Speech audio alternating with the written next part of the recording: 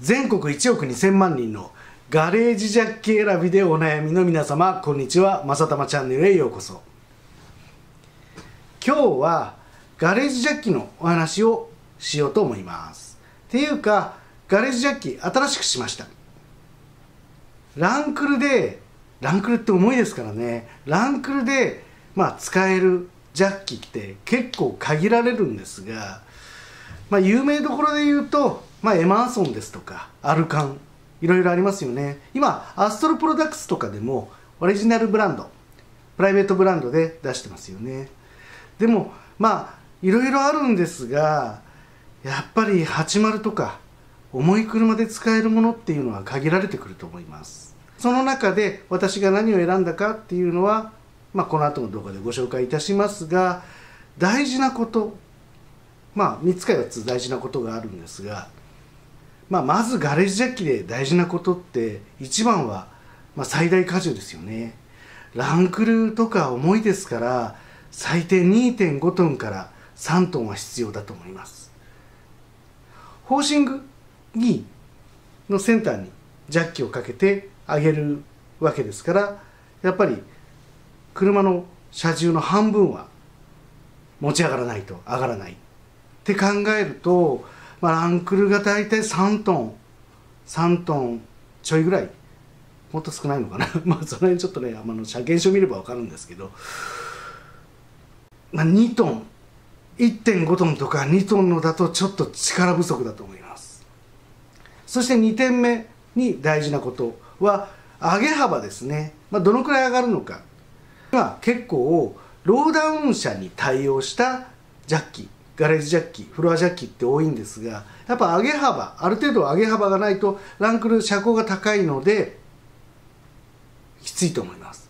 これはもう45045センチ以上とかもう本当にリフトアップも結構激しくリフトアップされてる方まあリフトアップというよりもホーシングにかけるんでタイヤの外形ですね。タイヤの外形を大きくしてる車だと結構上げ幅50センチ以上とかあった方がいいと思います。私の車は私の80はそれほど上げてないので、まあ、450からまあ470ぐらいあれば、まあ、45センチぐらいあれば大丈夫かなと思います。そしてあとは金額ですよね。やっぱりこれ一番大事、まあ、一番とは言いませんが大事な要素だと思います。プロじゃないんで、まあ、5万6万するようなものはとてもじゃないけど用意できませんのでまあ皆さんはね用意できるかもしれないんですけど私はちょっと厳しいので大体3万円ぐらいまでかなと、まあ、そういった中で、まあ、私が選んだものこれから紹介していきたいと思います。それでは行きましょう。っていうかインスタグラムじゃネタバレしてるんですけどね。どうぞ。はい。今まで使ってたのはこれです。ガレージジャッキマンモス。2.5トンって書いてありますね。これもう随分長く使ってます。そうですね。1 5 6年使ってますかね。80の前に三菱のデリカスペースギアに乗ってたんですがその頃から使ってますね。これが昔乗ってたデリカ。ジャッキオイルの交換は1回しました。45年前ですかね。軽トラとランクルで2台。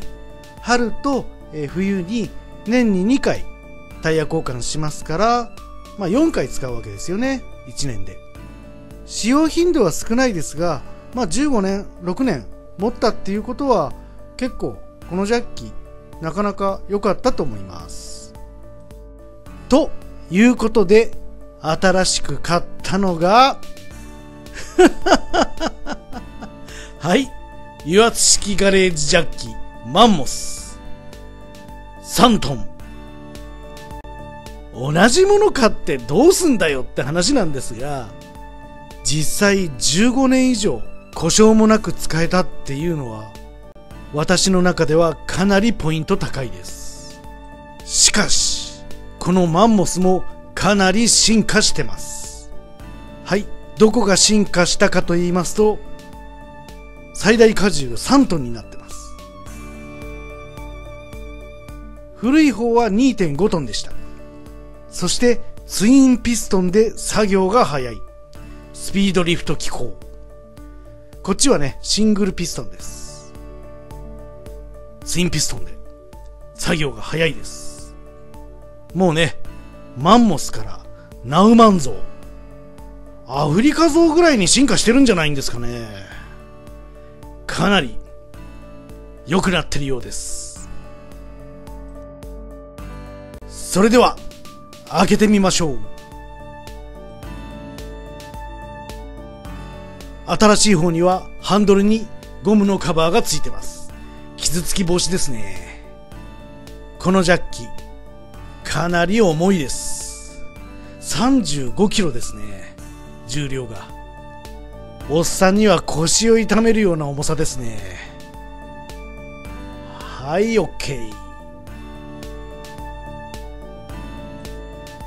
2台並べるとこんな感じ。新しい方がマンモス3トン。そして古い方がマンモス2.5トン。こうして我が家に2頭のマンモスがやってきました。ほんと同じもん買ってどうすんのよって感じですよね。それでもだいぶ仕様は変わってますね。まずこのサドルの部分。新しいものの方が小さいです。こっちの古い方ががっちりしてる感じ。そしてこの上がる部分の長さ。これが新しいものの方が短いです。なので上げ幅は新しい方が 465mm 古い方が 495mm で3センチほど短くなってます。この辺最大荷重が大きくなった分だけ強度を保つために短くなったんですかね。その辺は定かではありません。他にもこの車輪の幅古い方よりも新しいものの方が車輪の幅が広くなってたりフレームのリブが幅が広くなってたりしてますね。それでは実際上げてみましょう。まず古い方ストローク1回目。新しい方いきます。おお上がりますね。はい古い方2回目。新しい方2回目。おお発泡スチロールがついてた。上がりますね。3倍ぐらい早いですかね。さすが赤く塗られてるだけあって。3倍早いです。こうして比べてみると全然違いますね。1回のストロークでこんなに上がるのが速いとやっぱりジャッキアップポイントに到達する速さが全然違うと思います。さすがツインピストン。恐るべし。こっちはシングルです。構造も全然違いますね。そして今回こんなものも買ってみました。サドルパッド。ジャッキポイントを傷つけない。サドルパッドですね。ゴム製の。早速取り付けてみましょう。サドルパッドをつけるとサドルの大きさが古いものと新しいもの同じくらいの大きさになりますね。実はこのサドル取れますそして前のサドルが使えます。なので、ジャッキパッドを使わないときはこちらのサドル、古いサドルを使って、ジャッキパッドを使いたいときは新しいサドルをつけるっていう使い方もありだと思います。用途に応じてこのサドルも付け替えるっていうのも使い方もありだと思うんですが、実際このガレージジャッキって2台あると便利です。なぜかと言いますと、例えばホーシングを外したりするとき車高を上げたりするのにどうしてもホーシング下げなきゃいけないんですけどその受けに使ったりも使用するので2台あるのは便利です以前にもお話ししましたがジャッキを使う際まあジャッキで車を上げるんですけどまあ上げ切ったら必ずリジットラック馬を使ってください。耐荷重。もう最大荷重が大きい。3トンもあるからってジャッキでそのまま保持してタイヤ交換とかはしないようにしてください。結構事故が多いです。下敷きになる事故が。そこが注意点ですかね。それではこの新しいジャッキを使って80ランクルのタイヤ交換をしてみましょう。ていうか今日4月30日なんですけどまだスタッドレスなんかいって話ですよね。いや実はこのジャッキを紹介する動画を作るまで変えないでおきました。新しいのも使いたかったので。それでは始めましょう。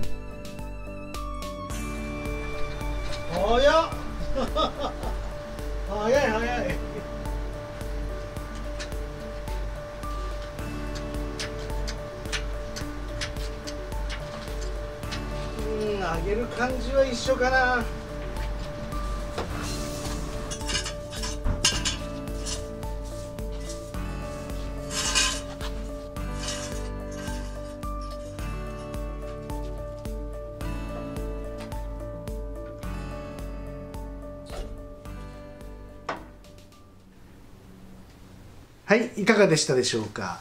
私が選んだガレージジャッキ大橋産業バルの3トンマンモス、まあ、前使ってたのもマンモスだった同じもの買ってどうすんだよって話なんですけど動画の中で、まあ、1 5 6年使ってたっていうふうにお話ししましたが実際18年使ってました、まあ、最低年4回使うわけですからそう考えると使用頻度は実際少ない。まあ100回使ってるか使ってないか。ですよね。でも結構ね20年近く持ったっていうのは私の中では結構ポイント高いです。実績がありますからね、まあ、そういう部分では、まあ、非常に安全に関わるものですし同じものを選んじゃいました。すいません。同じものって言っても随分進化してますよね。ダブルピストンツインピストンになってたり2.5トンから3トンになってたりとか。結構早いです。